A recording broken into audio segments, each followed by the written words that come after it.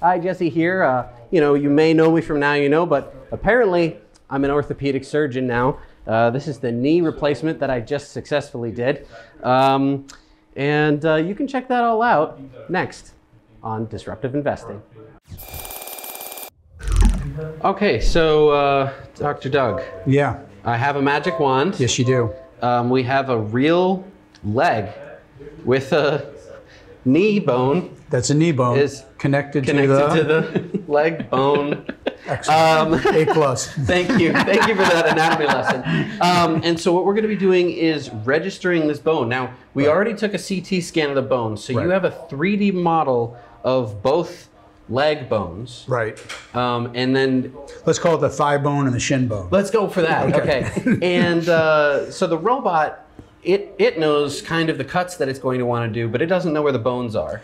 Exactly. Okay. So what we're trying to do is basically we need to tell it, we need to tell the computer in the robot where this bone is in three-dimensional space so that it correlates it to the scan, the CT scan that's in its system. Okay, and so over there we have a camera set up which is looking at these uh, Right. balls on my magic wand and is also looking at uh, these balls uh, that are directly connected to the leg bone. Right.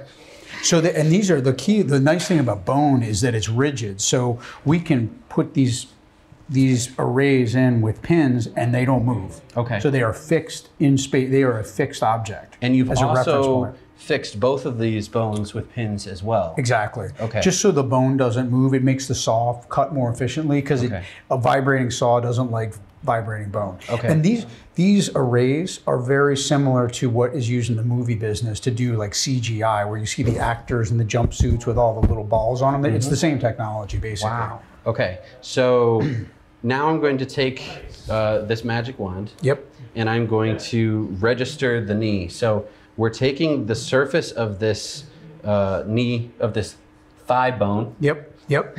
and uh, we're going to be registering it along, uh, basically uh, meshing it with the model that we have. So you're gonna you're gonna collect enough points to create a cloud of points that our math will essentially figure out okay this cloud of point can only be oriented in this one way to make it match with this CT scan. So that's what you're doing. So that way we're marrying the CT scan with physical reality, and then this physical sagittal saw can make the cuts onto this physical bone using the digital model. It's fourth industrial revolution oh, stuff, man. wow, So wow. by by giving it this ballpark based on what you can see, it allows us to collect fewer points to create that cloud. So Because if we didn't have that, and I were to just collect points, it's thinking like, is the bone over here? Exactly. Is the bone over here? And we're taking away all of that math and saying like, no, no, the points are not gonna like the bone's not here. right The bone is just about here. in the neighborhood. and so I'm trying to match it up using augmented reality. Yep. And I'm also physically going to touch the bone itself. That's right. wow. Okay. And it's it's um, you know so we can get away with 12 points per bone. Most systems out there are like 40 points per bone. So we need a lot fewer points because we are doing this step. Wow. Okay, so I'm gonna get this roughly in the right uh, orientation, Yep. And uh, That looks pretty good. okay, Okay. In advance, one more time. Click it one more time. All right. And so that looks good, and then we'll go to the next one. Yeah. Okay, so now what I'm gonna be doing is registering points. Right. And you want to spread these points out because again, that cloud is more effective if the points are spread out in different orientations. Okay. You don't want to cluster them in one area. All right. So I'm actually gonna go through the cartilage to touch the bone. Right. And the reason you have to do that is because we have a CAT scan which doesn't see the cartilage. It only Oh, sees the bone. So that looks good. You, you'd be a good orthopedic resident. If Except your knuckles don't drag enough. Thank you, doctor. I concur. Yes. Yep. I do like the sound because now I don't even have to look at the. So you're at seven points. Okay. Get this area in the front of the femur too. Okay. There you go. They get a few couple points there. Right in here. Yep.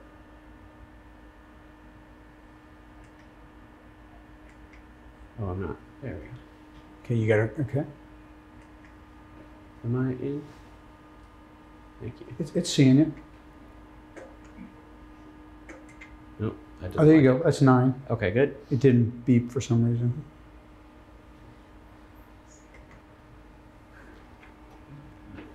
Maybe it's something here. 10.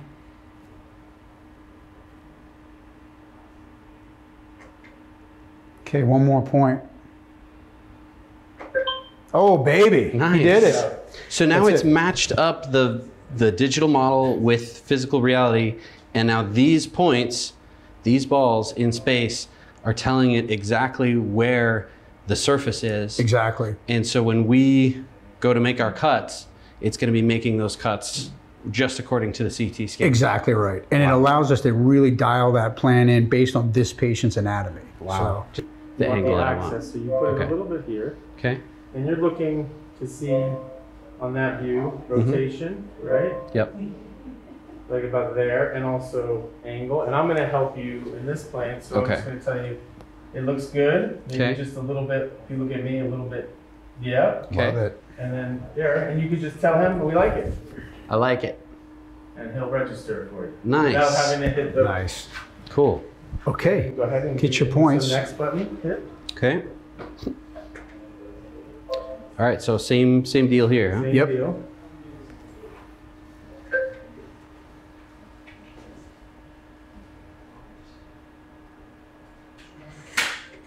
Sometimes also using both hands to sort of stabilize it. So Okay. you take your right hand, it's sort of easy, just sort of walk it around. Okay. Mm-hmm.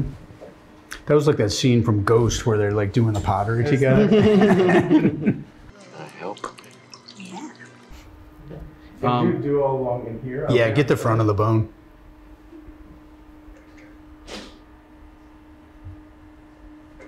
Nice. Okay, nine points. Get that whole front face there. Yeah, th- get a bunch of points there. That's nice bone. Can you rotate the see the image? There you go. That's it. And even on the outside. There he is. He did it. Nice. Woo, very nicely done. All right. Good job. So I'm a surgeon now. You're a surgeon. We'll get you your wings later.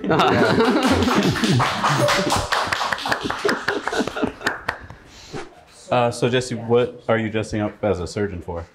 uh, surgery. What? I thought you had your little fun. You registered the leg.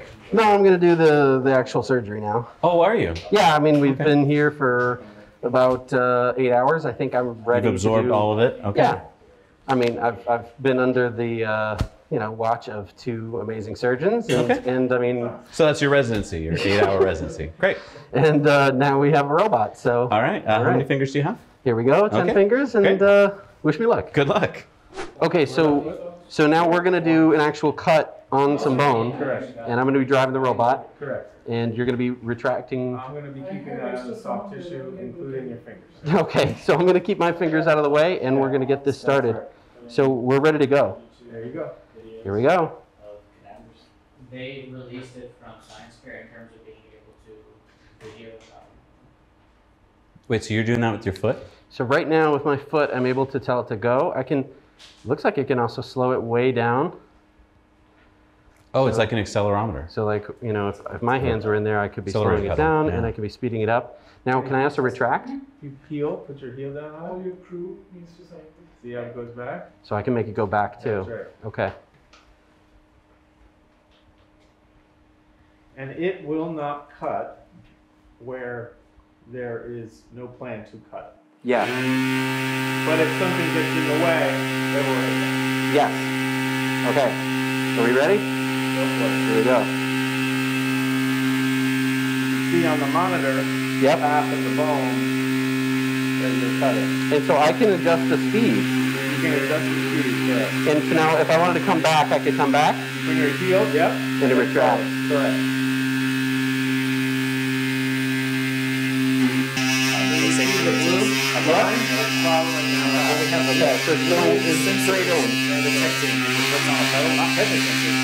Is that the type of cut you'd normally do? If you, just plunge it straight in? Um, that means it knows it's there, but oh, because you'd have it in a jig. It's like, hey. Because you'd have it in a jig, right? Stop cutting.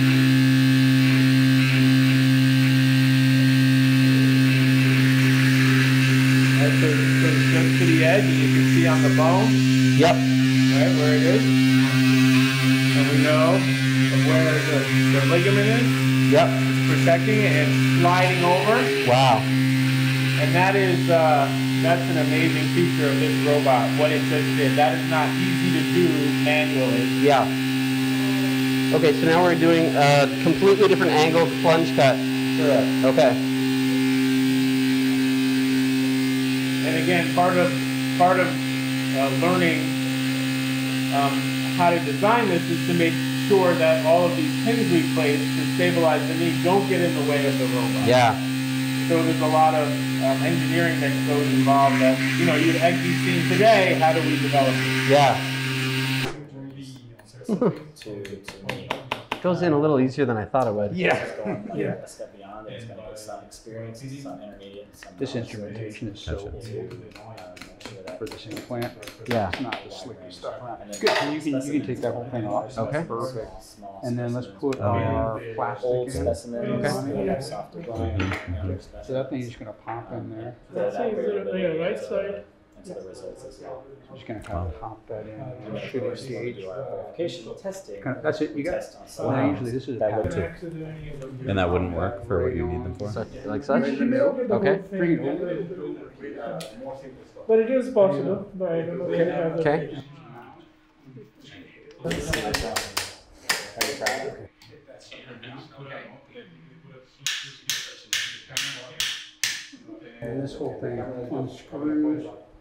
proud? And this whole thing unscrews. Okay. Yeah, guys, Get they actually got Get it down. registered. Okay. Just because it looks like they're putting in trials. More? A little bit more, but you're looking good. Perfect. Love it. Okay, so now. Wow. It's pretty good. So nice and straight. So that's a knee surgery. That's a knee surgery, so you. And it's nice and balanced. Really? It's Wow. Nice and snug all the way through. And so, so that's a perfect knee. No way. No shit, that is a perfect knee, because it's, it's nice and straight. Yep. And a lot of times with a manual knee, what you'll see is when you start going through, you'll see it like wiggle waggle it. Uh-huh. But you can see as I'm stressing it, there is really no play to it. So this patient's gonna be able to play basketball. Oh my God. Not this one, but. I just used a hammer. that was the last tool I used was a hammer. He's gonna play basketball in heaven. Very nice. Wow. But, and you got very minimal shock here. Uh-huh. Perfect, Perfect. Wow. That's, that's really, that's what you want. All right. Good job, brother. Thank you. Wow. I did a knee surgery.